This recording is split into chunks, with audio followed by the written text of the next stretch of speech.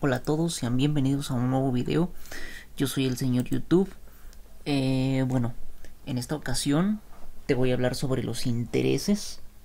Si no sabes lo que son intereses, pues quédate en este video porque pues ya te digo que te va a interesar.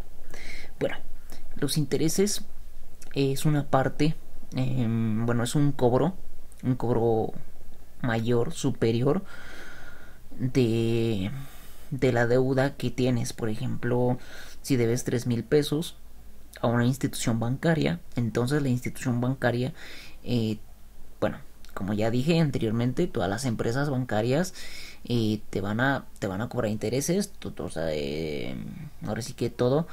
Em, vamos a suponer, por ejemplo, Bancomer, la empresa Bancomer, el banco, el banco Bancomer.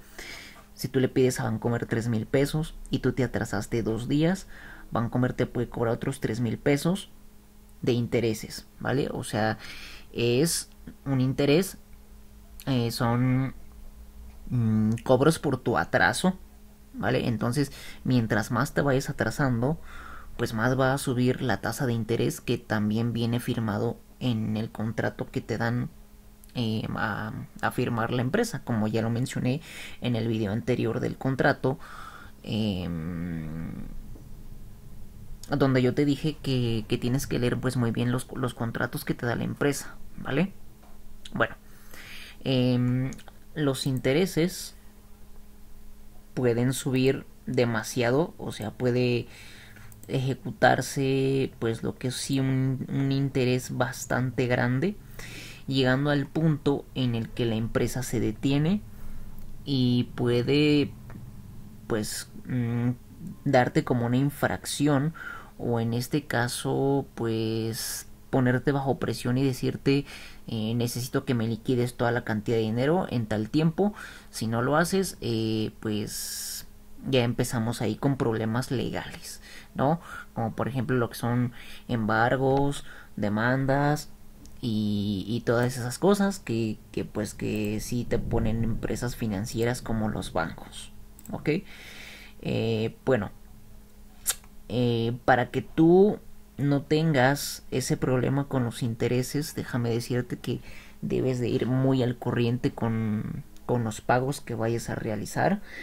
Debes de ir muy al corriente con, pues sí, sí, con todo eso, porque es, importante para la empresa bancaria. Si tú no te pones al corriente, pues es lógico que te van a seguir sube y sube y sube interés. Si tú ya debes, mmm, no sé, 22 mil pesos de intereses más tu deuda atrasada, entonces si ya empezamos con problemas legales, que eso te lo voy a empezar a contar ya después en otro video. Entonces, para que tú no tengas estos problemas, te recomiendo que te pongas al corriente y como te dije en el, en el segundo o tercer video que te puse, necesitas hacer tú mismo una evaluación de tus cobros, de tus pagos, de tu trabajo y principalmente que te alcance tu dinero. ¿Vale? No te embarques en cantidades grandes de que si prestas, de que si te prestan 15 mil pesos y pagas mil y tanto, no sé, a la quincena y no te alcance, pues entonces no, no, no es una buena opción que te, que te endrogues de esa manera. Para que tú no te cargues de intereses, eh, pues como yo te digo, debes de ponerte muy al corriente, ¿ok? Así que bueno, pues nada más era este video completamente cortito. Espero que te haya gustado. No olvides suscribirte al canal, darle like, eh, comenta si te gustó, alguna opinión, yo te puedo ayudar.